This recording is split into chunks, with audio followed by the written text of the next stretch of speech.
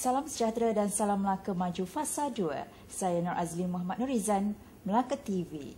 Melaka Gateway yang bakal menjadi pintu masuk utama di negeri ini akan membawa pelbagai faedah apabila siap sepenuhnya pada tahun 2025 dan dijangka menyumbang pendapatan kepada keluaran dalam negeri kasar tahunan KDNK sehingga 1.5 bilion. Perdana Menteri Datuk Seri Utama Muhammad Najib Tun Razak berkata, projek Melaka Gateway terletak di kawasan seluas 1246.4 hektar bernilai 40 bilion ringgit itu bakal menjadi tarikan terbaru di Melaka serta destinasi pelancongan utama negara. Tambah beliau, impak baik pembangunan projek Melaka Gateway dijangka menjadi mekanisme penting untuk menarik tambahan 2.5 juta pelancong dalam tempoh tersebut dengan sasaran utama pelancong berpendapatan tinggi yang mampu memberi sumbangan besar kepada pendapatan sektor pelancongan negara.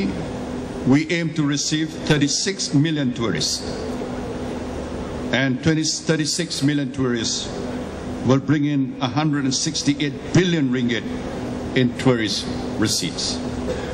And I am expecting that Malacca Gateway will contribute a significant portion of that. Sementara itu, Ketua Menteri Datuk Seri Insinyur Idris Harun berkata, projek mega itu juga akan menawarkan sekurang-kurangnya 15,000 peluang pekerjaan kepada penduduk tempatan berikutan pertumbuhan pesat di kawasan tersebut termasuk membangunkan tiga lagi pulau berdekatan. Idris berkata demikian semasa berucap pada Majlis Pelancaran Pelan Induk Melaka Gateway yang dilakukan oleh Perdana Menteri Malaysia di Pulau Melaka. Kira-kira 5,000 tetamu termasuk Esko Kerajaan Negeri, Ahli Dewan Undangan Negeri, Ketua-Ketua Jabatan, Media Asing dan Tempatan serta orang ramai hadir pada majlis tersebut.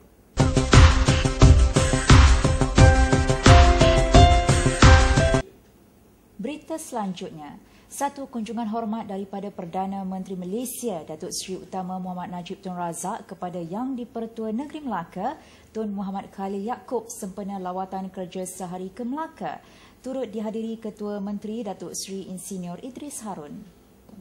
Najib bersama Muhammad Khalil dan Idris meluangkan masa bersarapan bersama Barisan Esko, ahli-ahli Dewan Undangan Negeri, ahli-ahli Parlimen dan ahli-ahli Dewan Undangan Negara.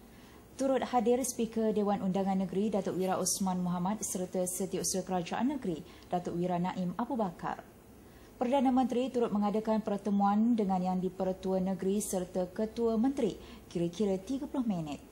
Najib dan Idris kemudiannya dibawa menaiki bas elektrik Melaka milik Panorama Melaka Sdn Berhad menuju ke tapak pelan Induk Melaka Gateway di Pulau Melaka. Melaka Maju 2010